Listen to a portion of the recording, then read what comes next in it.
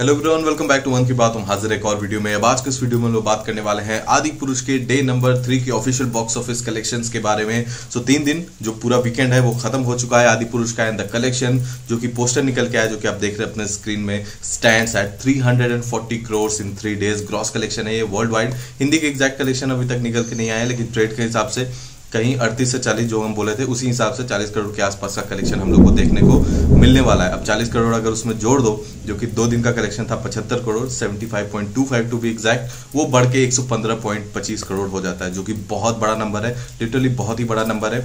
और टोटल भी अगर देखा जाए तो तीन सौ चालीस करोड़ तीन दिन में बहुत बड़ा नंबर होता है। बट क्योंकि the stakes were really really high for Adipurush, उसका रिकवरी भी उतना ही है तो अभी तक अभी भी मतलब कुछ भी नहीं कहा जा सकता है कि एकदम ये हिट हो जाएगा या फिर आ, किस डायरेक्शन में जाएगा क्योंकि आज से the all important Monday test start और ये जो है वो और भी ज़्यादा इंपॉर्टेंट हो जाता है वो इसलिए क्योंकि आदि पुरुष को जिस तरह का बैकलैश मिल रहा है, जिस तरह के कंट्रोवर्सी जिस तरह का रिएक्शन एंड रिव्यूज़ वगैरह मिले हैं, उस हिसाब से इसका मंडे और भी ज़्यादा क्रूशल हो, इसलिए भी हो जाता है, क्योंकि अब आगे कैसा फेयर करेगा, उस पर सब कुछ डिपेंड करने वाला है, क्योंकि तीन दिन का हम लोग सबको पता था। रिलीज़ के पहले ही बहुत तगड़ा एडवांस बुकिंग हो गया था तो वो जो है एक हनीमून पीरियड कह सकते हैं आदि पुरुष के लिए, वो आज मतलब कल जो है खत्म हो गया, जिसके कलेक्शन आज निकल के आए।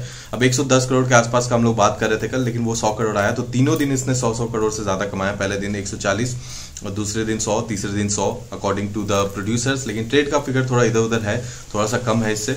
बट फिर भी तीन दिन लगभग सौ करोड़ के आसपास कमाना बहुत बड़ा बात होता है. और उसके बाद फिर अब जो आगे किस तरह का होगा, क्योंकि मंडे का, आज का जो है, वो एडवांस बुकिंग या फिर ऑक्यूपेंसी भी जो खुला है, बहुत जगह सिंगल डिजिट में खुला है.